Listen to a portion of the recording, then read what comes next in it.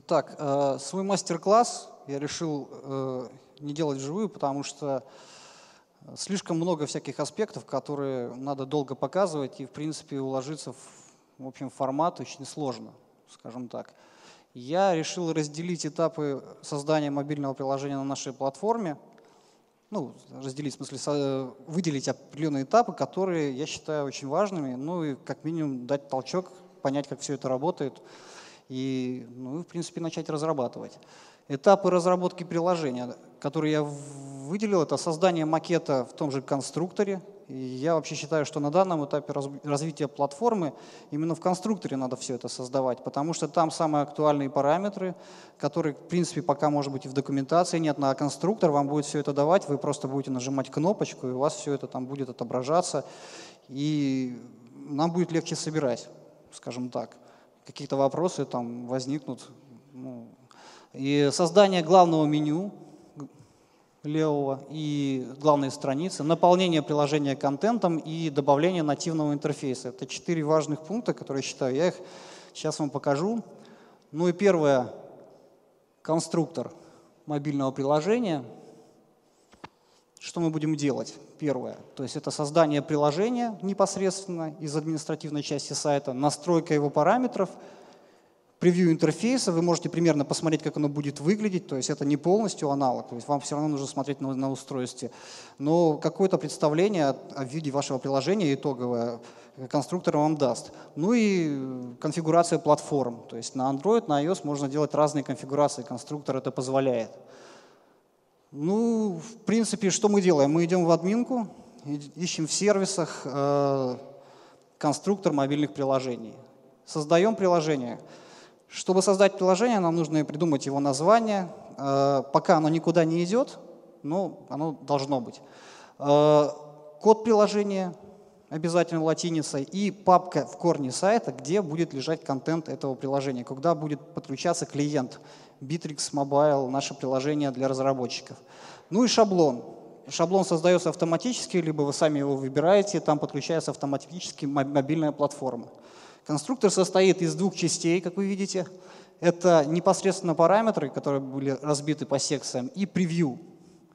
А, вы можете просто пощелкать по параметрам и задать их. Не все, конечно, визуализируются, но э, есть удобная фича в конструкторе. Вы можете э, кликнуть по области превью, и она вас приведет автоматически к тем параметрам, которые вам нужно настроить. Это, ну, на мой взгляд, довольно удобно. То есть вы кликаете, вас переводит и подсвечивается зелененьким именно тем параметром, который вам нужно настроить. Если вы параметр настраиваете, например, какой-то цвет, вы видите изменение э, элемента интерфейса. То есть раньше он был как, как тетрадный лист, там, ну, подложка, а теперь он, в общем, там, задний фон у него появляется, он становится белым или что-то в этом роде. То есть э, это как индикатор того, что вы все настроили. А, ну, здесь я, в принципе, создал приложение и пытаюсь э, в силу своей фантазии взять и просто, просто раскрасить его как-нибудь, задний фон задать, задать э, цвета заголовка, шрифт, текст и так далее. Э, пускай это будет турфирма, то есть я так решил, что это будет турфирма, и я экспериментирую в дизайнере мобильных приложений, пытаюсь подорвать ему какие-то фоны. Ну, нашел подходящий, Здесь очень много настроек, то есть задний фон ты мож, вы можете обрезать, вы можете его кропить, вы можете его растягивать по центру. Э, вы можете настраивать все элементы интерфейса, ну, практически все элементы, которые вы видите, э, все, которые э, нами были запрограммированы, то есть которые являются частью платформы, например, pull down to refresh. Сейчас я все это настрою, и в следующий итерации мы будем подключаться к нашему созданному приложению и увидим, как оно реально выглядит, ну и сравним с тем, что нам показывает превью. А, я думаю, достаточно. Итак, первый старт.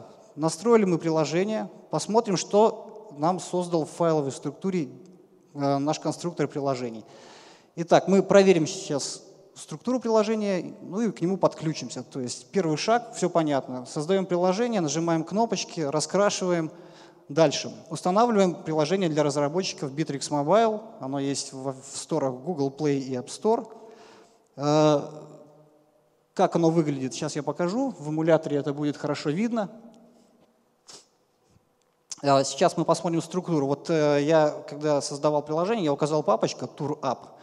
И там автоматически создают, создаются нужные файлы. То есть это индексная страница, страница меню, Э, файл config.php, который позволяет клиенту Bittrex Mobile знать, что там есть мобильное приложение, ну и в принципе ориентироваться, что это платформа именно та.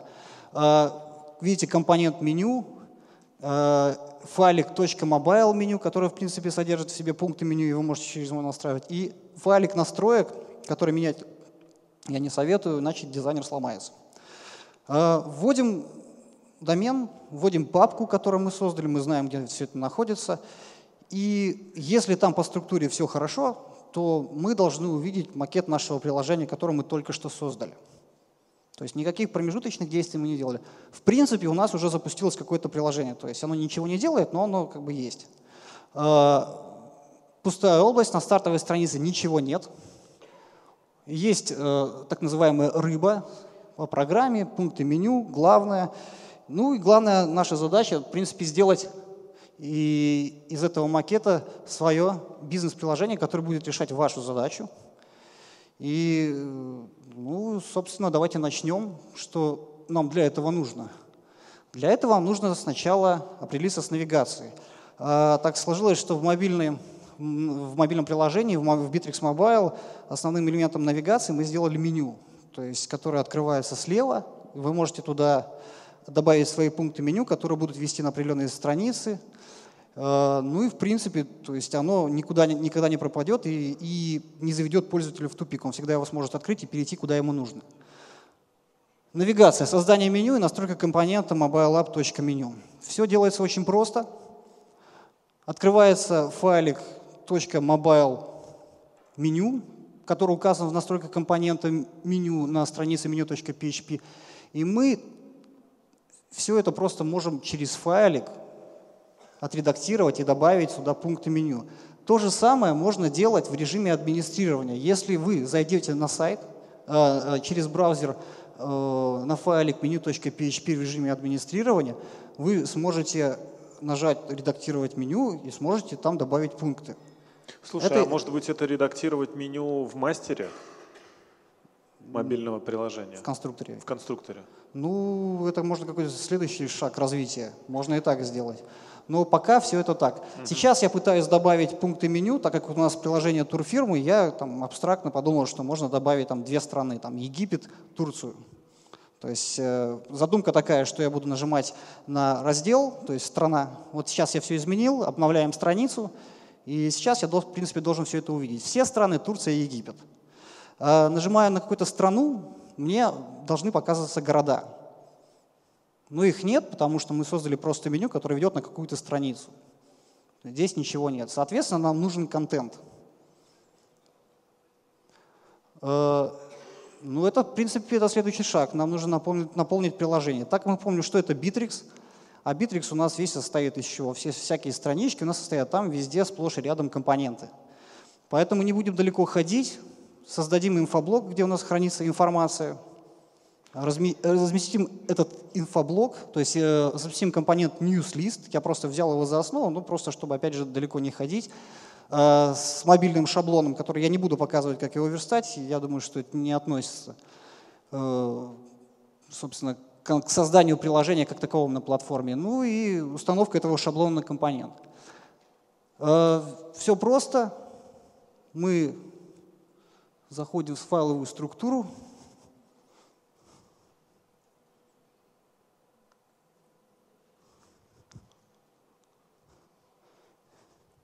И используя старый добрый, а уже новый 3.0 визуальный редактор, и пытаемся традиционно добавить просто компонент э, newsList на страницу, на главную страницу нашего приложения, чтобы он отображал страны. Вы можете использовать любой другой компонент, допустим, каталог или свой какой-то компонент. Я вообще рекомендую использовать, в принципе, свои компоненты в идеале, потому что компоненты большие для больших версий для сайтов, и особенно их шаблоны абсолютно не адаптированы и абсолютно не оптимизированы под мобильные устройства, у них очень много нюансов, поэтому это такой способ в лоб, чтобы понять, как все это работает. Я установил инфоблок на ньюслист. Теперь у меня на главной странице без шаблона должен отображаться список городов. Ну, верстка здесь хромает, как видите, это вообще большая версия. Там есть э, навигация, ну, абсолютно все это выглядит не мобильно. Значит, следующим шагом мне нужно установить шаблон, который я заранее подготовил. Шаблон Mobile.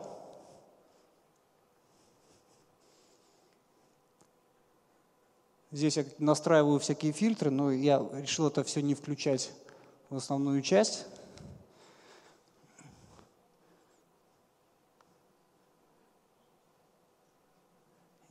Я просто меняю шаблон, который я заранее подготовил и положил в шаблон своего приложения, шаблон сайта по факту.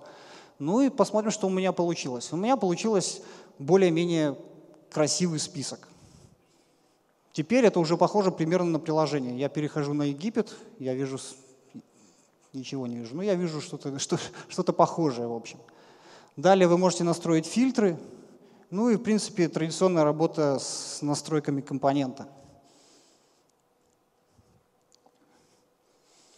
Следующий шаг, опять же, сейчас мы уже будем смотреть, как работает платформа. То есть сейчас все это, это все веб, все это компоненты, все это от Bittrex традиционного, а теперь Bittrex Mobile идет.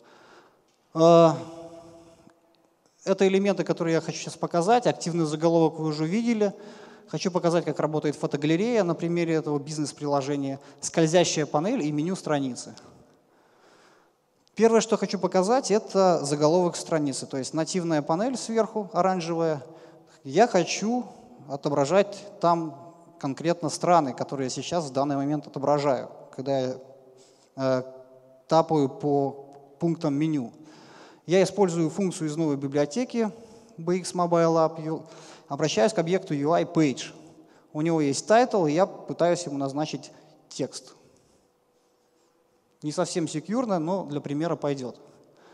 А, теперь у нас есть заголовок страницы, его теперь нужно отобразить. Вызвать функцию show. Опять же мы обращаемся к тайтлу страницы. В любой момент на странице динамически мы можем вызывать функцию hide, вызывать функцию show тайтла, мы можем его менять динамически, не только при загрузке страницы, но и вообще делать с ним все, что угодно. Можно дополнительную информацию, я покажу, как это делается. Ну, в принципе, наверное, здесь я это и сделаю. Нет, сейчас я этого не буду делать. Я перехожу на страницу Турция и вижу заголовок Турция. Нахожу, прихожу на Египет, вижу Египет. То есть сейчас вы через э, JavaScript API управляете именно нативным интерфейсом. Это не HTML. Можно добавить дополнительную какую-то информацию по этой стране. Для этого достаточно задать тайтлу детальный текст.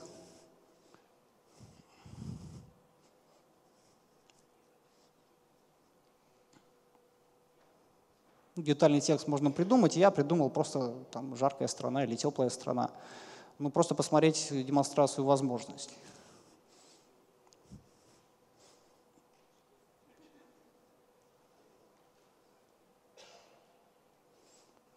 Нам нужно только обновить страницу и увидим, что там есть надпись «Теплая страна». Можно также добавить какую-то фотографию, это метод setImage. Можно добавить callback, когда вы будете кликать по этому э, названию, что-то будет происходить, какое-то действие. Ну и, собственно, идем дальше. Теперь мы попытаемся при клике на фотографию показать ее в полном размере нативным контроллером. Ее можно отправить, эту фотографию куда-либо, можно расшарить, что-то в этом роде. И для этого я заготовил функцию, опять же, из нашей библиотеки, фото-шоу. При клике на элемент image мы передаем ему э, SRC, и пытаемся отобразить его нативным контролем. Ну и обработчик на он клик вешаем. Все просто, в принципе, делается в несколько кликов, в несколько функций, строк. Результат сейчас будет на экране.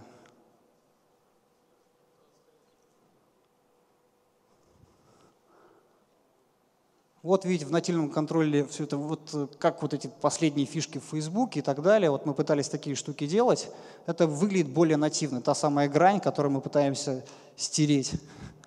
Вы можете отправить по имейлу, э, если это демонстрировалось бы на, на реальном устройстве, это на эмуляторе, то тогда эту фотографию вы можете расшарить, сохранить себе э, фотоальбом, можете сделать твит, можете отправить в Facebook, отправить в Dropbox и все такое прочее. Вы все, что угодно, вы можете с этой фотографией сделать. То же самое аналогично с документами. Есть функция работы с документами. Документ вы точно так же можете отправить по e-mail, расшарить, сохранить себе в какое-нибудь облачное хранилище Google Drive, допустим, или в Dropbox, другие хранилища. Э, следующий элемент интерфейса, который я хотел показать, это э, скользящая панель. Скользящая панель очень много спрашивают, что это вообще такое. Мы, так сказать, терминологии не нашли, решили назвать ее, по-английски она называется sliding panel.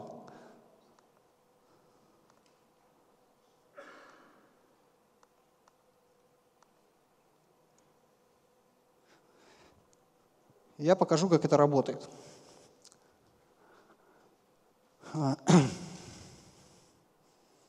Я произвожу изменения в том же шаблоне компонента newsList. Опять же, я заготовил все это. У нас есть две кнопочки, есть э, скользящая панель, sliding panel show. Я пытаюсь ее показать и добавлять вот две кнопочки в избранное и заказать. Ну и какие-то обработчики на эти кнопочки навесить.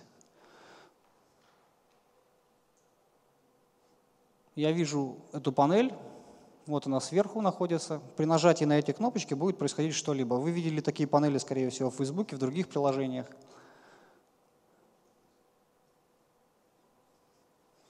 Эта панель может автоматически уезжать, если э, при показе панели передать настройку вот Hidden э, Sliding Panel True. Это тоже одна из фишек интерфейса, по крайней мере на системе iOS.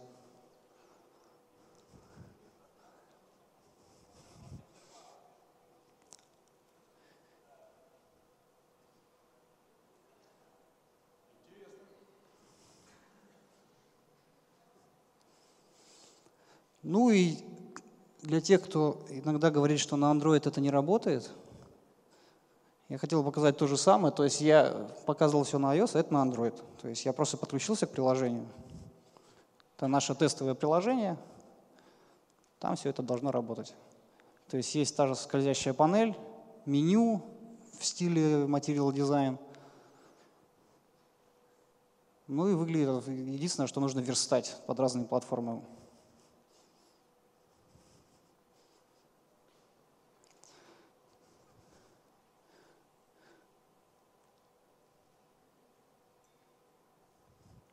Ну и, собственно, все.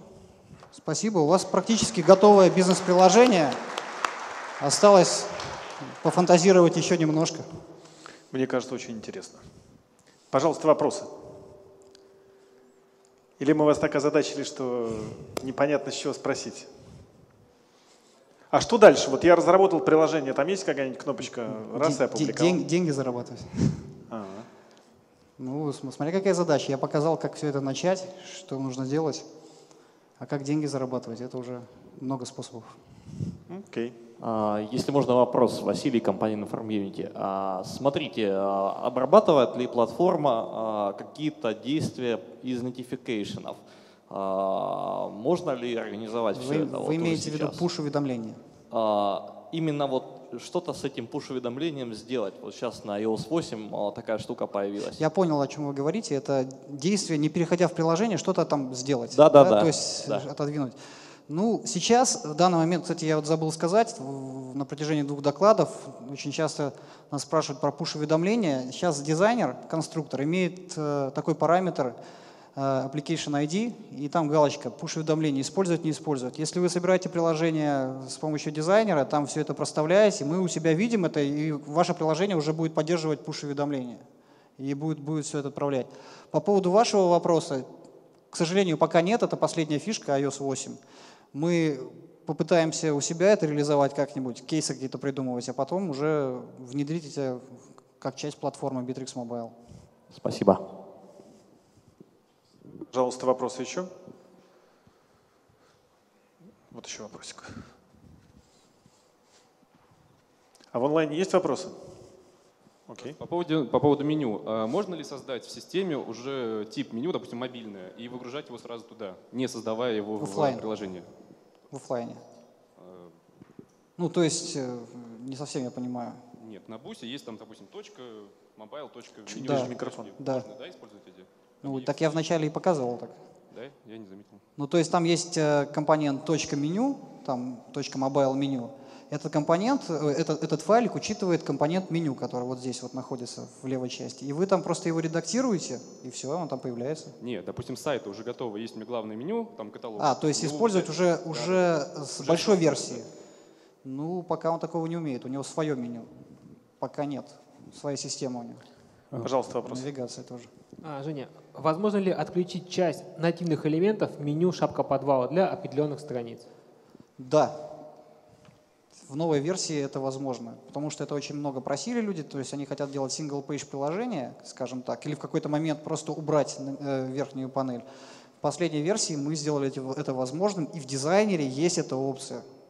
И не надо Спасибо. знать, как этот параметр называется, надо просто с помощью дизайнера его делать. Прошу.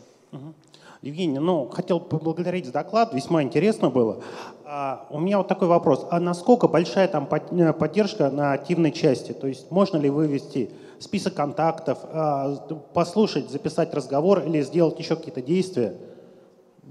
Ну, если говорить о тех э, задачах, которые вы сейчас озвучили, вот записать разговор, допустим, вот нельзя, вот в iOS нельзя. В Android, возможно, как-то можно, но только, ну, тоже какие-то сложности. Да вообще, в принципе, с записью разговора сложности. А по поводу контактов, вы, я имею в виду, вы имеете в виду вот контакты Да, телефонная телефона. книжка, Да, набрать э- номер. э, Это вообще поддерживается на более низком уровне, на уровне э, фреймворка этого Кордовы. Там есть API, который позволяет получать доступ, э, писать в контакты, читать оттуда все что угодно. Ну, то Всё есть это- я могу из своего приложения написанного вызвать список контактов и, допустим, осуществить какой-то звонок или там отправить сообщение? Ну, конкретно, если рассуждать о, в принципе, то есть задачи там тесно описаны, ну, в смысле, вот э, так детально описаны, я не могу сказать, но, по крайней мере, получить доступ и делать с этими контактами что вам угодно, то есть получать какие-то там номера, e-mail и так далее, писать туда вы можете, а вот э, по задаче это нужно детально смотреть. Я не, просто не буду врать, поэтому... Да, спасибо. Ну, давайте последний вопросик.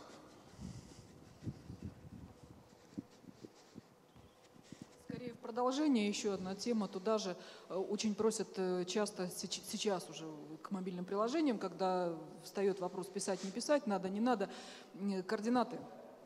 Место на карте, местоположение, координаты. То есть Если, точка. если нет специфической задачи, там вот человек подходил, чтобы приложение было там свернуто и там каждую секунду отправляло координаты куда-то там, то э, с этим сложность. А в принципе получить координаты э, это стандартная API, вы сейчас можете это уже делать.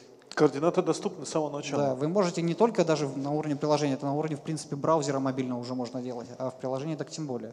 Использовать карты, Яндекс карты, Google карты, есть даже примеры приложений. Даже, да. Да, Евгений, пожелание на самом деле. Я вот на прошлой партнерке Сергея наслушался на тему того, что у нас просто верстка, просто JavaScript, просто все работает и запустились. А, И полтора месяца мы вот с вами переписывались так где-то месяц назад. А, Полтора прил- месяца у приложение нас, как- а, ну вы его сейчас, наверное, не видите. Мы его не опубликовали еще. Ну. Проблема заключается в том, что есть определенные ограничения, связанные с HTML, которые по какой-то причине, э, ну, по вашей, я, как вы выразились, в общем-то, разумению, не требуется разработчикам для того, чтобы сверстать вот именно так, как надо. Я так понимаю, по поводу так. вьюпорта. Совершенно верно. По поводу viewport, который scalable user, user scalable no, и кроме того, он работает только под iOS, а под э, этим самым нашим замечательным Android не работает. А Есть другие, может быть, ограничения, тогда было бы здорово людям как-то об этом рассказать, они бы Ну, не наступали бы на эти грабли. Мы пытаемся, конечно, говорить по- про ограничения, но вот конкретно в вашем случае, это ваш первый случай, честно говоря, что у вас какие-то проблемы возникли. То есть если Вы мы с вами... виду, что ограничение андроида по ряду Нет, тегов нет, это, может это HTML5? ограничение, когда мы подключаем нашу платформу, мы, в общем, э, скажем так, как мы считаем нужным, мы там выставляем некоторые метаданные, там теги, А, вот, и не даем возможность это поменять, потому что мы считаем, что это правильно. Вот так вот. И у человека проблема возникла, что нужно поменять, и я думаю, нам просто с вами нужно детально это обсудить, потому что я пока не понял, в чем проблема, честно говоря. Я Ну, понял, что у вас она Хотелось есть. бы, чтобы подходило, чтобы не мешало. Да. Спасибо. Спасибо большое, Жень, э, и за развитие платформы, и за прекрасный доклад.